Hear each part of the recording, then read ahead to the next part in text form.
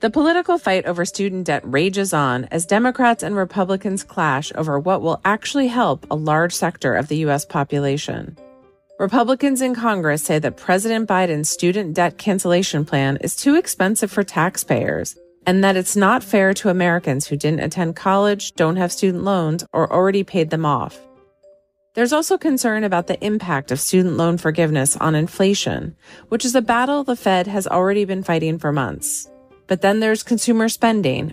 By some estimates, the return of student loan payments will cut consumer spending by up to $9 billion each month because borrowers won't have money to put back into the economy. To get a sense of what progressives see as the way forward on canceling student debt, I sat down with Senator Elizabeth Warren of Massachusetts in her Senate office here in Washington. My folks couldn't afford to send me to college. But I made it through four years of college with not a penny of student loan debt. And you know why? Because when I went to school, you could go to the University of Houston, where I went for $50 a semester. I could go to college and pay for it on a part time waitressing job. That opportunity is just not out there for most of our kids. Bloomberg White House correspondent Akayla Gardner also joins me to look at how the other side of the aisle is viewing the issue of student debt and what this all means for the administration heading into 2024. If you look at polling, student debt cancellation is pretty split. It's pretty divided amongst the electorate at large. Americans are now preparing for student loan payments to resume, but the Biden administration is working on a plan B to help all those borrowers who had high hopes of getting a little help with the burden of student debt. We spoke to a few student borrowers about what they hope comes next. My hope for the Biden administration student loan forgiveness is that they come up with another plan. There's so many borrowers that really believe that getting these loans and being able to pay them back after graduation would help them in the future, but the high interest rates have them trapped. Uh, my hope from the Biden administration is that their Plan B is able to go through, uh, utilizing the Higher Education Act. I also like their idea of the on ramp. My biggest thing is I want them to look at it from an equitable standpoint and just say, y'all made a decision to better your life. You shouldn't have to spend your whole life paying for it. I'm Nancy Cook in today for Wes Kosova. Today on The Big Take, what's next for student loan forgiveness after the Supreme Court rejected the Biden administration's first attempts? Senator Elizabeth Warren is a fierce advocate for the Biden loan forgiveness plan, so I asked her what the next steps are for those who still hope for student debt relief and how the administration is setting the scene for a plan B. Senator Warren, the Supreme Court struck down President Biden's efforts to cancel student debt. Now the administration wants to keep pursuing it only using a different legal rationale. But I'm curious, since they struck it down the first time, won't they just strike it down again? Well, you're asking me, will the Supreme Court play politics a second time in the row? Or third or fourth or fifth? What the president is doing is exactly what he should be doing. He says, I got a big toolbox and I'm going to use every tool in that toolbox. He has already canceled student loan debt for 3.4 million people. It's over $100 billion in debt that has been canceled. And now he's picking up another tool and says, okay, they told me I couldn't use this particular law. I'm going to try another one here. One thing that we haven't heard from the White House on this, I'll call it a plan B of using different legal rationale, is what the scope of the plan would be. Who would qualify in terms of their income? How much debt would be canceled? What would you like to see from the administration on those numbers? My position is pretty clear. More is better. more, more, more is my answer. I got three answers there. But understand it this way he is going through what's called negotiated regulation. So he's walking through the process. I very much hope that he's going to make this as broad as he can. But this is what negotiated regulation is about. They're pushing him into another tool. So he's going to dot every I, cross every T, give the court as little room as possible to overturn him. And part of that will be constructing a plan under this other statutory authority. So, do you think that it's likely that we'll see the same numbers we did for the last plan, which was $20,000 for Pell Grant recipients, $10,000 in cancellation for other borrowers with an income threshold of $125,000 a year? I think that's entirely possible, but I think that's what I know. That's what negotiated regulation is about. This is why they have a committee. This is why they put it out for notice and a comment.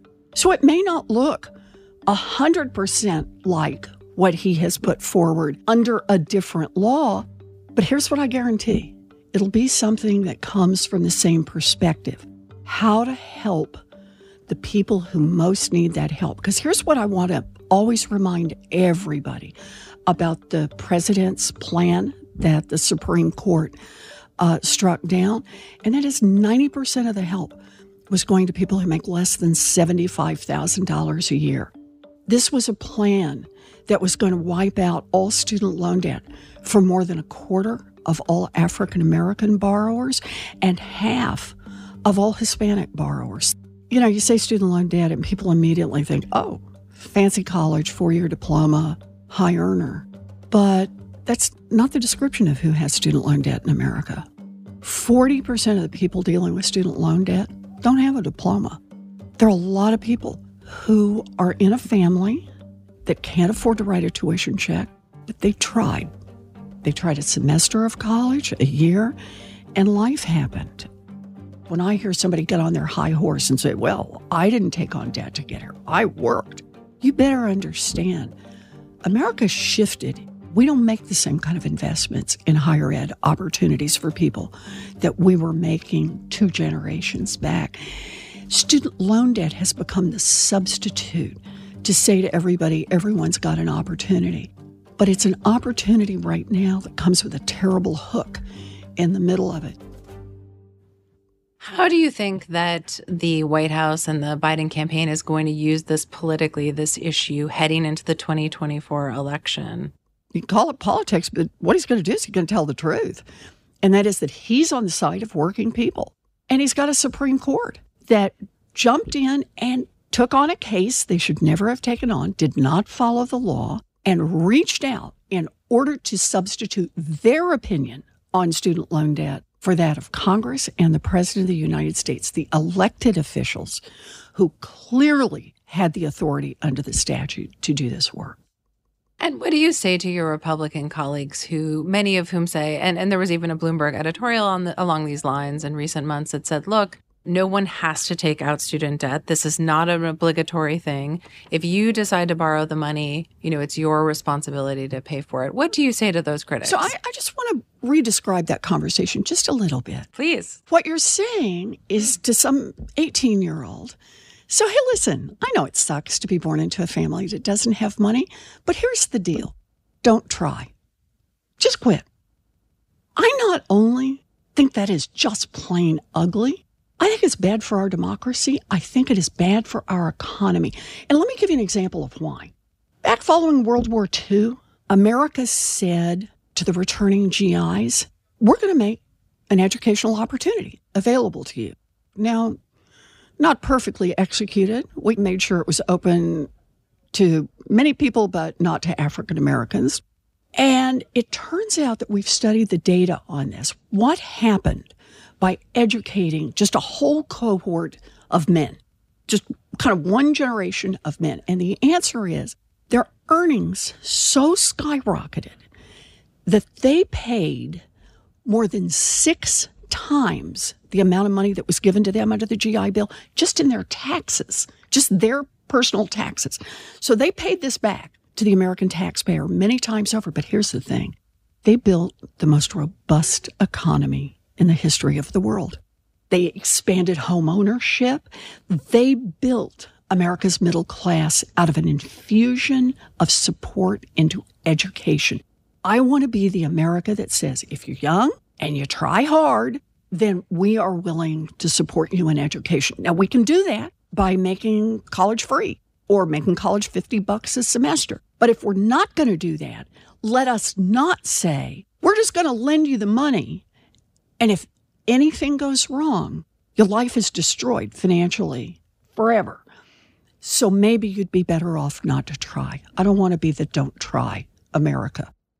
There's a really interesting program that the Biden administration is starting to do as part of the student loan plan, the income repayment plan. One thing I am curious about, though, is the Department of Education is being asked to do so much right now, like develop these new rules and take in comments. Um, in my own reporting, I have heard, you know, they're underfunded and understaffed. Do you think that they have the money and manpower to kind of take on all these really big, long term policy questions and changes? Yeah, boy, this is a real problem. And let's face it, they don't have any choice. It is what is upon them there's been a, a real disconnect here. The Department of Education is being asked to do more, and it got its budget cut. And that's a real problem for them. The people who work there are good, hardworking public servants who are trying to get this right, who are trying to follow the rules that the lawyers tell them, that the courts tell them, that Congress tells them. And they just, they don't have enough people because they don't have enough budget to get this done it raises like this other issue that runs through Washington D.C. We've had an IRS that's been underfunded. Do you think that forever. this is similar I situation absolutely to the IRS? think it's very similar because it's the same kind of Republicans who don't like what the Department of Education is trying to do. When you underfund, you bear down on good people who are just trying to do their jobs. And then they end up with lousy customer service, lousy capacity to serve the public, which makes it a, a, frustrating job, but it also makes it frustrating to people on the other end. It doesn't work if you're not willing to pay for it.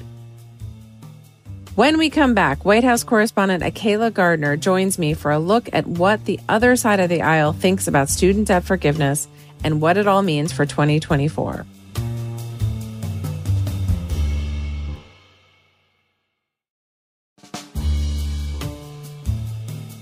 Joining me now is Bloomberg's White House correspondent, Akayla Gardner.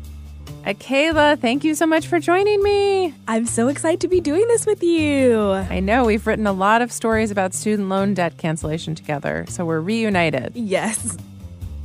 How are Republicans and people who are skeptical of this plan going to continue to fight the Democrats on this? And what are the most potent arguments that they're making? I think the best example of this is the House Education Committee we have seen that committee pretty consistently criticizing the administration over their original plan. We actually saw a bill pass out of the House and the Senate to cancel this program before the Supreme Court ruling. They even criticized Biden for this $39 billion cancellation that we saw recently, which was basically the administration righting years of wrongs of millions of folks who had been paying into this income driven repayment plan for 20 to 25 years, but hadn't received forgiveness, basically because these programs were poorly managed. And they even called that illegal, even though this program has been around for so long and these folks had been promised this debt cancellation. But their argument is basically that it's not fair for taxpayers who did not go to college, specifically because it was expensive, or folks who chose to go into the trade field. It's not fair for them to have to pay for someone else's decision. And that's sort of the core of their argument here. You know, I talked with Senator Warren about Biden's loan cancellation plan.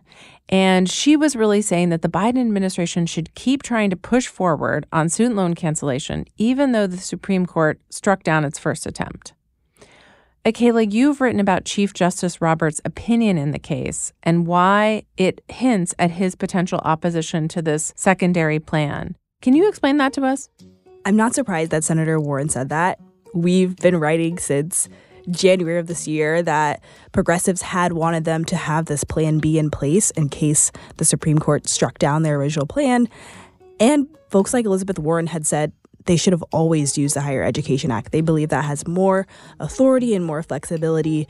And that's something that legal experts said as well. It gives them broader authority than the HEROES Act did.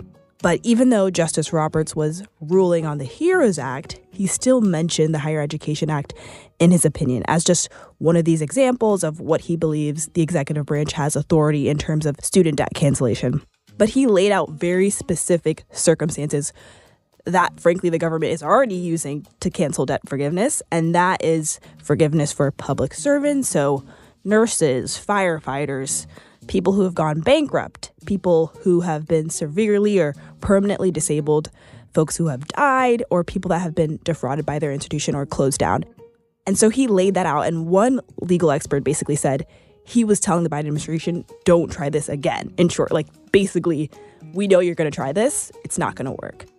So, any federal court that looks at that opinion as a precedent, or if it actually goes back to the Supreme Court again, they're going to reference that opinion when they're ruling. And what's the time frame for the administration to unveil this plan B? When can we expect it? Most folks is, think that this is going to take at least a year beyond the 2024 election. And so we might not see this until the fall of 2024, exactly what the plan is, because all we know right now is that it's a plan and they want it to help as many borrowers as possible. That's it. But right now, they're going through this negotiated rulemaking process, which many government agencies use, where they collect comments um, and sort of hear different stakeholders' opinions on what the ruling should be. But I can't imagine them releasing something that's so narrow in scope and having that sort of fill the gap of the last plan. So, of course, we're just anxiously awaiting those details. But once it comes out, that's when legal experts, and I'm sure there's many conservative groups are waiting for this to land just to challenge it again. We have estimates from experts at the Penn Wharton uh, budget think tank at the University of Pennsylvania that estimate that this plan or, or a plan similar to it because we don't know the details yet could cost you know anywhere up to 500 billion dollars. What does the Biden administration say to people who are worried about how this would add to the deficit, um, particularly when inflation has been, you know, historically high for the past two years? Well, I think the administration's talking point is always that they brought the deficit down, right, compared to the Trump administration. So that's what they always say. But Biden's main pitch and this Bidenomics turn that we're hearing is that he wants to give Americans, quote unquote, more breathing room. And he believes that people who have sought a college education are deserving of this. But one thing that people criticized him for in, in the original plan is student debt is such a huge issue and a, a systemic issue that this plan was only going to put out one time forgiveness. It was only going to help a very specific group of people. It's not going to help people who are in college right now or who are going to apply to college. And so that is sort of the big question here is how are they going to fix this system outside of debt cancellation? And how are Senator Warren and other progressives on the Hill, you know, student loan activists? I know the NAACP has been in, very involved in civil rights groups. How are all of these disparate groups sort of keeping the pressure on the administration to sort of fulfill these promises that they want to see? Well, they want this plan to be completed as quickly as possible. They know that there's limits in the negotiated rulemaking process for it to be shorter, but they're sort of putting the pressure on for it to be done as quick as possible because they know that this is in jeopardy say if a Republican gets in office come next year. And that's why I think this could be, again, a 2024 election issue, because if Biden can stay in office, he could continue a legal fight if one comes come next year. But if he leaves, this program will completely be thwarted and we'll be back to square one. When we come back, more with White House correspondent Akayla Gardner on what's next for student debt forgiveness.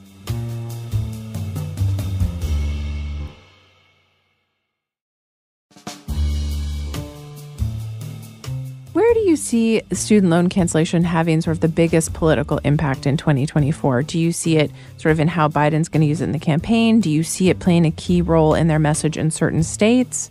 It's a great question because if you look at polling, student debt cancellation is pretty split. It's pretty divided amongst the electorate at large. But under very specific groups, it's very popular. So if you look at young folks, so there was a poll by Voters of Tomorrow that showed this has the most awareness or popularity amongst young people. More young people knew of this plan than anything else that Biden has done during his first two years in office. And then if you look at people of color, so black voters, Latino voters, they're way more likely to be in favor of student debt cancellation. I saw one poll that said 70% of black voters and 95% of Latino voters are in favor of all or some debt cancellation.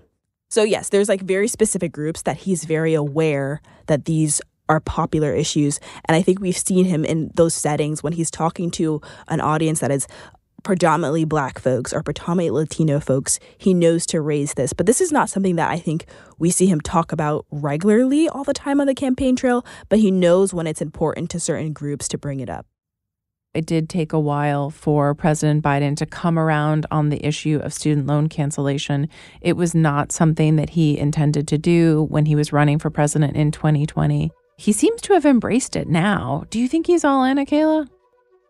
It's such a good question because I feel like the issue of student debt cancellation or free college was such like a fringe issue, especially when you go back to 2016. Bernie Sanders was really the only candidate that was fully embracing this idea. And Joe Biden has always been or sold himself as like a moderate, this centrist guy who's able to reach across the aisle. So it was a big deal for him to embrace it. And I think it was a recognition that the center of the party has sort of shifted, like the fact that he has embraced it. And I'm sure it had a lot to do with polling. Like they probably saw that this is a popular issue. This is going to galvanize key parts of the Democratic base. But I think he has sort of embraced it now and he sort of has to keep going.